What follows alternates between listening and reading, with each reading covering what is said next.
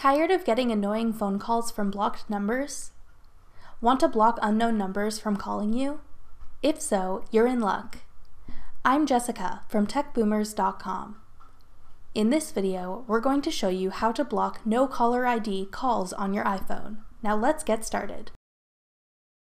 First of all, what exactly does it mean when you see no caller ID pop up on your phone? It means that the person who is calling you has blocked their phone number from being visible. This means that they purposely want to hide their contact information from you so you can't track the call back to them. If you receive a no caller ID call, who could be behind it? It could be coming from a telemarketer, organization, or even an individual who has blocked their own phone number from being seen. Although you don't know who's calling, what you do know is that they don't want you to have their contact information. That covers what no caller ID means and who could be calling you from one of these blocked numbers.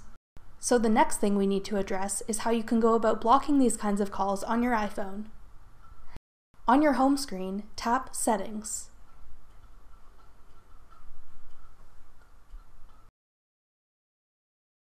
Scroll down in the menu, then select Do Not Disturb. Beside where it says Manual at the top of your screen, you'll see a slider. Move the slider to the right to enable customization of the Do Not Disturb setting. When the slider changes from white to green, manual mode has been enabled. Now tap Allow Calls From to set who will be able to make calls through to you. The last step is to select All Contacts.